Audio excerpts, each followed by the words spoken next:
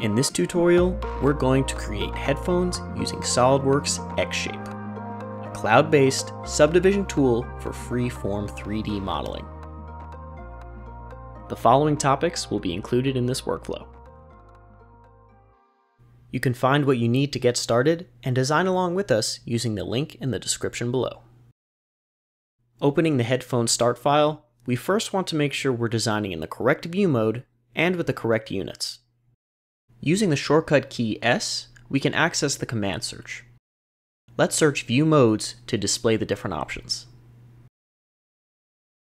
These are the settings we'll be using for this tutorial.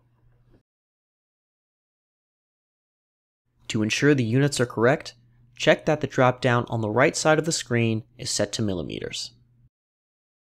In the Design Manager to the left, we can see the headphone start file includes five ordered geometrical sets, or OGSs. The first contains the ear cups, the second contains the buttons, and the third contains the ear cushions. The fourth and fifth will contain the headband and headband cushion that we're going to design. We'll start off by creating the second ear cup.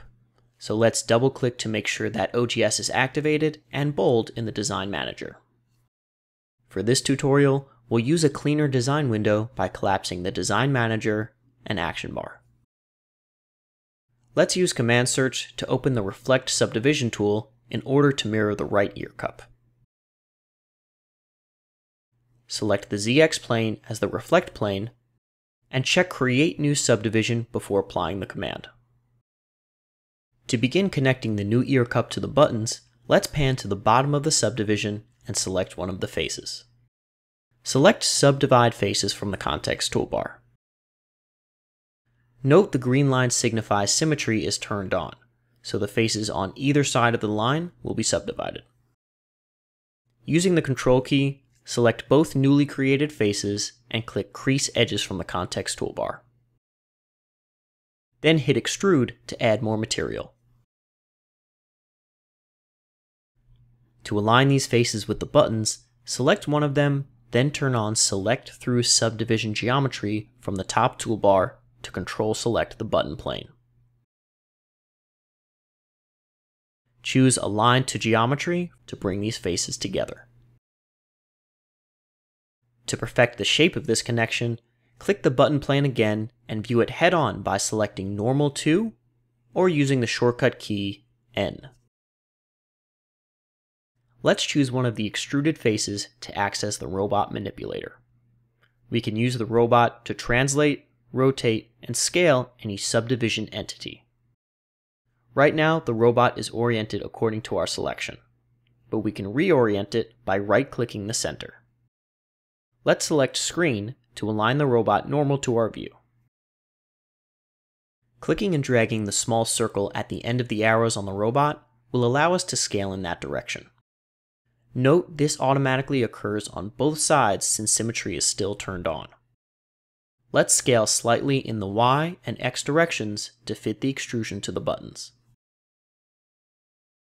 To fit the shape even better, let's use the keyboard shortcut C to access the cage views. Pressing the button once accesses the cage and surface view. Pressing it again will access only the cage view. For now, let's use the cage view. To align the vertices on either side of the buttons, select the top left corner vertex, then shift select the bottom left corner vertex to select any vertices between them. From the context toolbar, select Align vertices to each other. Note that the first two selected vertices define the alignment for the entire selection. Let's repeat this process on the right side of the buttons, then switch back to the surface view with the keyboard shortcut C. The ear cups are now complete. Let's exit the subdivision environment from the top toolbar. Next, we'll create the headband with a net surface. Let's move our mouse to the left side of the screen to show the Design Manager, then pin it with the icon in the top right. Let's show the headband OGS using the Hide Show column, then activate it with a double click. Using Command Search, let's find and open the net surface primitive command. In the dialog box, we can designate the headband profile and guide sketches from the Design Manager. To simplify the shape, let's decrease the number of profile cuts to 5, the number of guide cuts to 11, then hit enter. Once the command is applied, we can hide the profile and guide sketches directly from the graphics area and collapse the design manager. Now we'll sharpen the outer edges of the headband. Double click one of the central faces towards the top or bottom edge to select the face loop going in the vertical direction. Next, choose the Crease Edges command from the context toolbar. To quickly create the other half of the headband, select the ZX plane, choose Symmetry from the context toolbar, and apply the command. Next, we'll sculpt the profile of the headband. Using the shortcut key N, we can snap to the closest top, bottom, or in this case, side view. Let's add one more edge loop that goes around the top of the headband by selecting one of the horizontal edges and clicking Insert Loops from the Context toolbar. To resize the headband, let's launch the Flex command from Command Search, then box select the entire headband shape. Using the robot, scale the model inwards so the width of the top of the headband is approximately halved, then apply the command. Now we can rotate our view with the Shift and Arrow key shortcut to focus on sculpting the front. Our goal is to thicken only the top of the headband, so let's open Working Zone mode from the command search to make sure we're only editing a certain area. We want to select the seven clusters of vertices on the inside of the top of the headband for our working zone. An easy way to do this is with the lasso tool. We can access this tool by beginning to box select, then going back over the same spot we started. Now we can freely trace out our selection. Since symmetry is turned on, we only need to select the left four clusters of vertices before applying the command. We'll apply a gradual thicken to these vertices using soft selection mode also from the command search. This mode allows us to extend the influence of the robot manipulator. In the dialog box, change the dropdown to extend the influence by face count and make sure the number of faces is set to 3. Let's box select the middle group of vertices and drag down by 5 millimeters. We can now exit soft selection by closing the dialog box, then close the working zone by clicking the coin dropdown in the top right. Be sure to leave the symmetry coin active. Panning around to the bottom, we can see the headband geometry is not closed. We can make this shape watertight by selecting one of the open edges and choosing Fill Edges from the Context toolbar. Let's round the inner edges of the shape by selecting one, then using Tangent Propagation to select the rest. Uncrease these edges from the Context toolbar. We can round the shape even more by selecting the bottom middle edge reorienting the robot to selection, and dragging down 10 millimeters.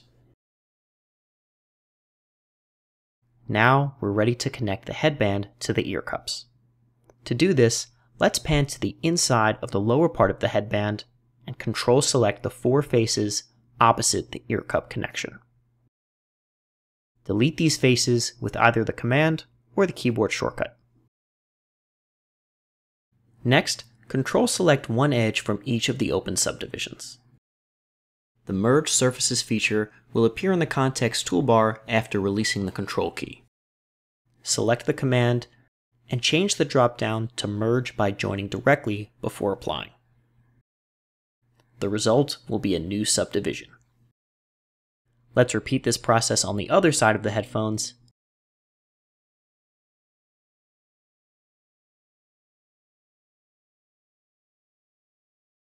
and exit the subdivision environment. Finally, we'll add a headband cushion at the top of our headphones. To begin, let's activate the headband cushion OGS from the Design Manager and show the profile sketch through the Hide Show column. Launch Extrude Primitive from the command search and zoom in to select the sketch as the profile. Let's change the distance to 50 millimeters and increase the number of profile segments to 14. Make sure the number of Z segments remains at 3. After applying the command, let's hide the profile sketch from the Hide Show column in the Design Manager. Another way to apply symmetry is through shortcut rings. To access shortcut rings, click the right mouse button, move slightly in any direction, and hold. In the subdivision environment, the shortcut ring will only show subdivision commands. Let's swipe through the symmetry command to activate it, select the ZX plane from the graphics area, and apply the command. To sculpt the headband cushion to shape, let's change to a front view with the orientation triad, and once again open soft selection from the command search. This time, let's set the mode to biradial distance and set the radius to 100 millimeters. Let's box select the N cluster vertices and use the robot to angle them inward 25 degrees. Exit the command when complete. To close the geometry, we can use the shortcut ring again to quickly access the Fill Edges command. Closing one open end will automatically close both since symmetry is turned on. The sculpting process is now complete, and we can exit the subdivision environment. As a final touch, let's change the color. Click any face on the headband or ear cup to access the color wheel from the context toolbar. We have the option to color specific faces, but let's change the dropdown to color the entire set. Click the current color in the bottom right of the dialog box to access the various ways you can create your own shade. To better view our final design, let's use the V keyboard shortcut to show the View menu and click the top option to hide any planes. We can press V again to remove the menu. Our headphone model is now complete. Feel free to continue modeling and make this design your own. And if you'd like to see more tutorials, check out the SOLIDWORKS YouTube channel.